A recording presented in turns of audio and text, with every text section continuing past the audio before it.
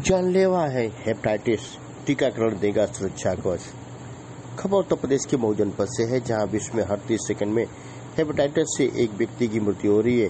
देश में चार करोड़ दुनिया में पैंतीस से चालीस करोड़ से अधिक हेपेटाइटिस से लोग प्रभावित है। हेपेटाइटिस सर्वाधिक लीवर को प्रभावित करता है। लीवर के बढ़ने के बाद नियंत्रित न होने की दिशा में लीवर कैंसर हो सकता है। इसको लेकर डॉक्टर संजय सिंह ने क्या कहा? आई सुनते हैं। हेपेटाइटिस की मरीजों की संख्या बढ़ती जा रही है और इस समय हर 30 सेकंड में एक व्यक्ति की पूरी दुनिया में हेपेटाइटिस की वजह से मृत्यु हो रही है। और इसमें 35 से 36 करोड़ पूरी दुनिया में हेपेटाइटिस के मरीज़ हैं और करीब चार से पाँच करोड़ हिंदुस्तान में हेपेटाइटिस के मरीज़ हैं। तो इसकी इतनी भयावता देखने के लिए और हम लोग कोई भी दिवस मनाया जाता है कि जागरूकता का कार्यक्रम होता है कि लोगों को अवेयर किया जाए।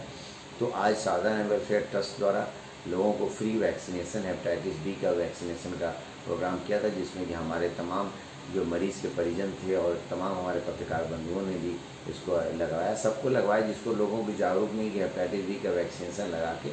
और सारी डोज का हम लोग एक निःशुल्क व्यवस्था अपने ट्रस्ट के माध्यम से किया है इसका ज़ीरो वन सिक्स तीनों डोज उसमें लगाया जाएगा।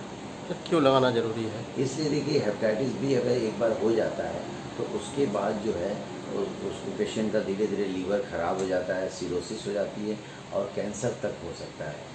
तो अगर उससे बचने के लिए सीरोसिस से बचने के लिए और कैंसर से बचने के लिए इसका प्रिकॉशन लगाया जाता है क्योंकि हेपेटाइटिस बी का जो इलाज भी है, वो बहुत महँगा इलाज है और लीवर एक ही होता है, उसका ट्रांसप्लांट अगर किया जाता है तो भी बहुत कठिन होता है, बहुत मुश्किल होता है।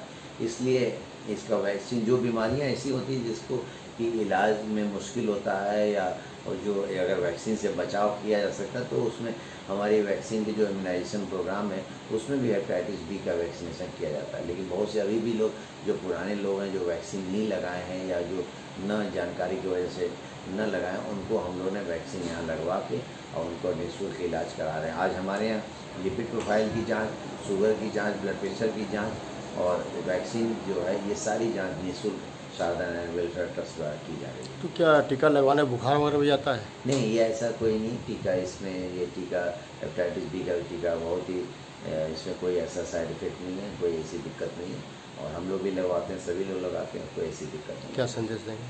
और ये देना चाहते हैं जो आजकल लोग शराब का सेवन करते हैं, उससे भी हेपेटाइटिस लीवर ख़राब होता है और जो अपना देख रेख नहीं करते हैं, अगर शरीर में थकान हो, कमज़ोरी हो वीकनेस महसूस हो रही है तो अपनी जाके डॉक्टर के पास अपनी जाँच कराएँ। जांचों में कोई कोताही न बने। बहुत से लोग आजकल भी जाँच कराने में बहुत ही अपने आप को असमर्था ज़ाहिर करते हैं या उनको लगता है कि ये पैसे का फिजूल खर्च है। ऐसा नहीं है। अगर सही जाँच सही डॉक्टर कर रहा है और शरीर में कोई कमज़ोरी है तो ज़रूर अपने डॉक्टर की सलाह से जाँच कराएँ।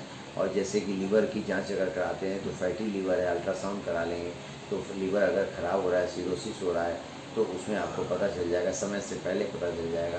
कुछ ब्लड टेस्ट ऐसे होते हैं जिसमें कि लीवर के बारे में पता चल जाता है। तो ये सब चीज़ों को आप पता करके अपने लीवर